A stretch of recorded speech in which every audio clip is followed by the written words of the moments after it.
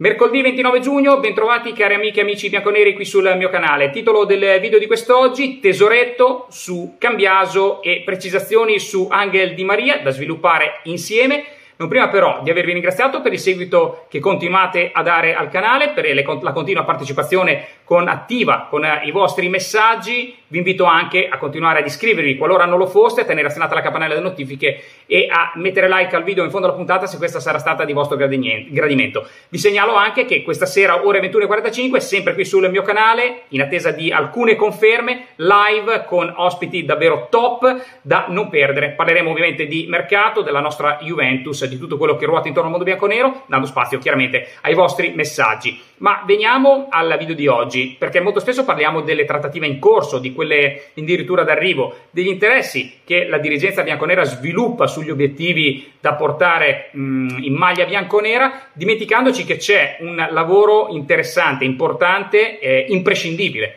da sviluppare anche sul lato cessioni. E allora questo tesoretto eh, che va ad aggiungersi chiaramente al, mh, mm, a quello che è già stato predisposto per il mercato in entrata che la Juventus andrà a realizzare a partire dal primo luglio 2022 dobbiamo sicuramente ricordare che Israel manca ancora eh, qualcosa per definire l'accordo definitivo con lo Sporting, ma è prossimo a vestire la maglia dello Sporting di Lisbona.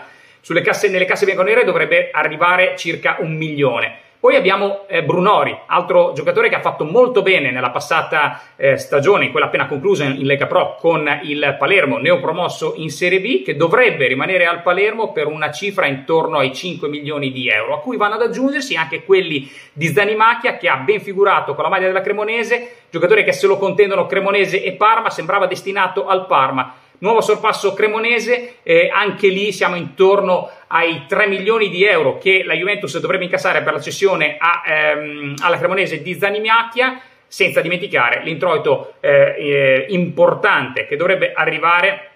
dalla figura di Rolando Mandragora, che non rientra nei piani della eh, formazione di Massimiliano Allegri, giocatore eh, per il quale si stanno diciamo, eh, contendendo le prestazioni sportive, il Torino che vorrebbe confermarlo ottenendo uno sconto dalla Juventus, eh, Mandragora che ha fatto bene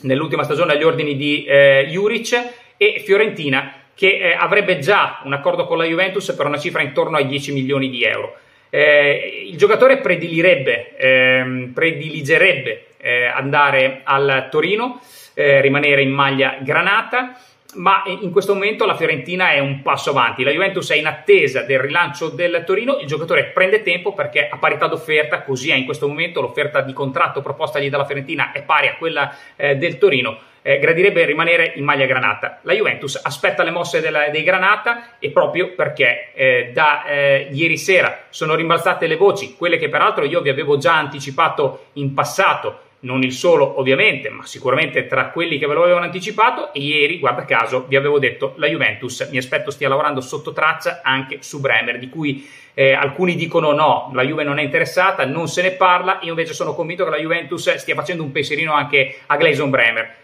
Mandragora potrebbe essere la chiave per intavolare una trattativa proprio con i Granata che sanno che dovranno liberare il giocatore che altrimenti lo vedrebbero partire dalla sessione di mercato invernale, quella di gennaio 2023 per una cifra intorno ai 15 milioni di euro. E poi non dimentichiamoci che nel tesoretto eh, già diciamo eh, in eh, possesso dei bianconeri ci sono quei 20 milioni più bonus che sono eh, determinati dal riscatto della DEA eh, per il cartellino di Meri Demiral. Quindi una Juventus che ancora sul mercato non ha speso perché tralasciando quelli che sono gli investimenti fatti nella sessione eh, invernale, che sono semplicemente l'anticipo di quella che dovrebbe essere eh, la sessione estiva che partirà ora al primo di luglio,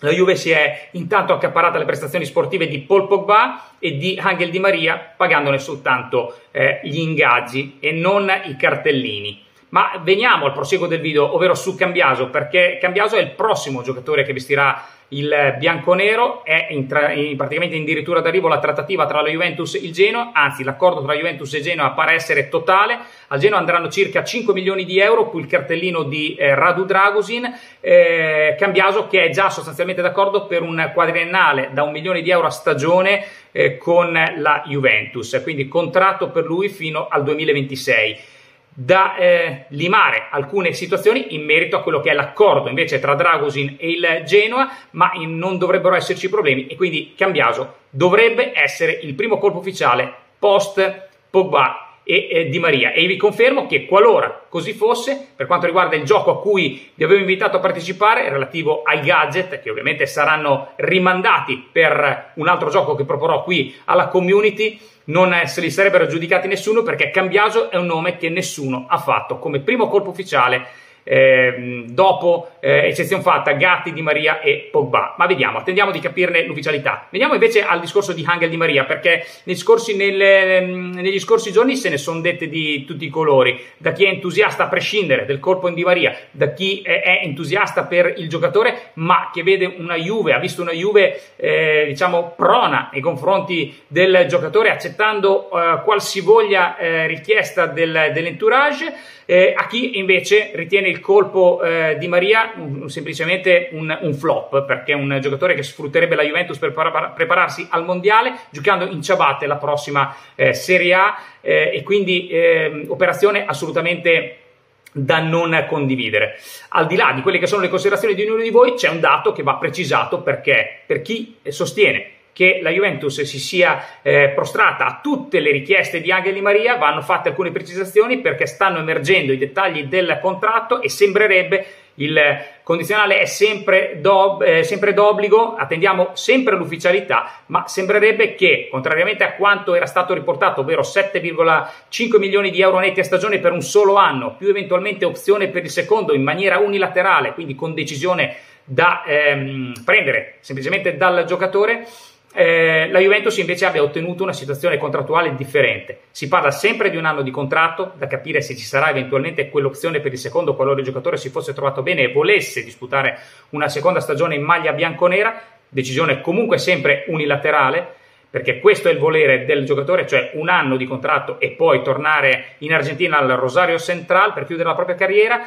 ma le condizioni eh, economiche del contratto sembrerebbero essere completamente diverse, ovvero si parla di 5,5 milioni di euro a stagione più bonus, più ulteriori bonus piccoli per arrivare ad una cifra intorno a quei 7, ma determinati da presenze e da, eh, eh, dal conseguimento di eh, obiettivi personali e di squadra. Questo significa che eh, il giocatore mette un po' anche eh, nelle, diciamo, nelle condizioni ehm, la situazione che lui stesso andrà a sviluppare eh, per determinare il suo eh, stipendio, nel senso che lui stesso avrà eh, l'interesse a disputare quante più partite possibili, ad ottenere quali migliori risultati possibili personali e di squadra per il conseguimento del più alto stipendio eh, diciamo stipulato appunto nel contratto con la Juventus che è previsto da una base fissa, si parla di 5,5 milioni di euro eh, netti più bonus per arrivare a quei 7, 7,5 di cui si è parlato che però sono vincolati appunto a questa situazione.